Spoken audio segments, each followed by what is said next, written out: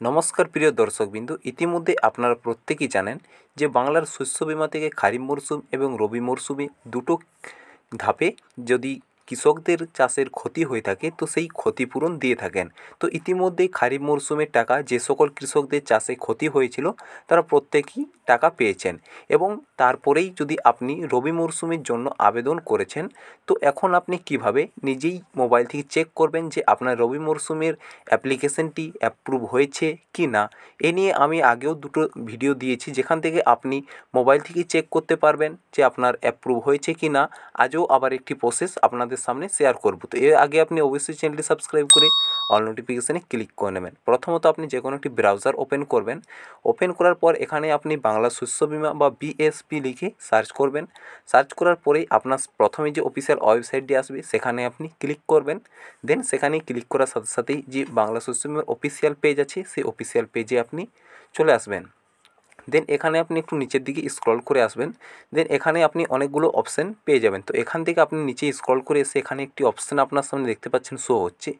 Application status দেখতে পাচ্ছেন দেওয়া আছে know your application status on every step তো বুঝতে পারছেন যে এখান থেকে আপনি আপনার অ্যাপ্লিকেশানের প্রত্যেকটি স্টেপ প্রত্যেকটি ধাপ আপনি বুঝতে পারবেন যে আপনার অ্যাপ্লিকেশানটি কোন স্থিতিতে আছে, সেগুলো আপনি এখান থেকে চেক করতে পারবেন। এই জন্য এখান থেকে আপনাকে অ্যাপ্লিকেশান স্ট্যাটাসের ওপর ক্লিক করতে হবে।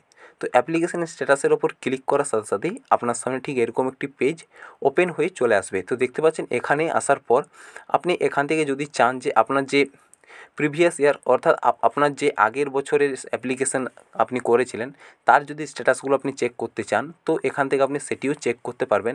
আপনি যদি যেটি বর্তমানে আপনার আবেদন করা আছে সেটি স্ট্যাটাস চেক করতে চান, তো এখানে আপনি সেটি ক্লিক করবেন। দেখতে পাচ্ছেন এন্টার অ্যাপ্লিকেশান আইডি তো এখান থেকে শুধুমাত্র যাদের অ্যাপ্লিকেশান আইডিটি জানা আছে, শুধুমাত্র তারাই এখান থেকে অ্যাপ্লিকেশান আইডি দিয়ে স্ট্যাটাসটি চেক করতে পারবেন। তো চলুন দেখে নিই প্রথমত যে আপনি কীভাবে চেক করবেন। তো এখানে আপনি অ্যাপ্লিকেশান নাম্বার দেবেন এবং চেকে ক্লিক করবেন। তো এখানে অনেকেই কমেন্টে জানাচ্ছিলেন যে এখানে ক্লিক নিচ্ছে না, এখানে অ্যাপ্লিকেশান আইডি দেওয়া যাচ্ছে না। তো এর জন্য আপনার কী করতে হবে? এর জন্য আপনি এখানে যখনই আসবেন, এখানে আসার পর কোনাতে চলে আসবেন, জুম করে চলুন আমি আপনাদের দেখিয়ে দিচ্ছি। কোনাতে আসবেন কোনাতে আসার পর একদম আপনি যে কোনগুলো আছে সেই কোণে ক্লিক করবেন। আপনি যদি মাঝে ক্লিক করেন তো আপনার ক্লিকটি নেবে না। তো এখানে আমি দেখিয়ে দিচ্ছি, দেখতে এই কোনা বা নিচের কোনাতে আপনি এখানে ক্লিক করবেন।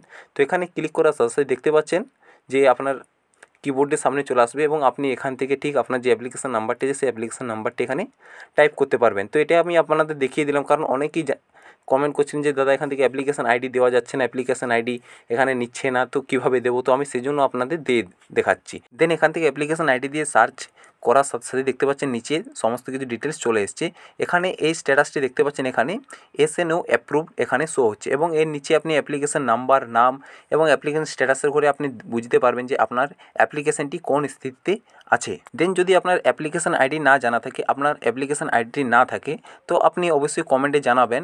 তো আমি এই নিয়ে একটি ভিডিও বানিয়ে দেবো, যেখান থেকে আপনারা যে অ্যাপ্লিকেশান আইডি কীভাবে বের করতে হয় সেটি আমি আপনাদের দেখাবো। তো আরও দু একটি প্রসেস আমি আপনাদের স্ট্যাটাস চেক করা দেখিয়েছি, সেগুলো ডিসক্রিপশানে লিঙ্ক দেওয়া থাকবে, সেখান থেকে আপনি চেক করে নিতে পারবেন। আজকের ভিডিওটি ভালো লেগে ভিডিওটি লাইক এবং চ্যানেলটি সাবস্ক্রাইব করুন। জয় হিন্দ হিন্দ।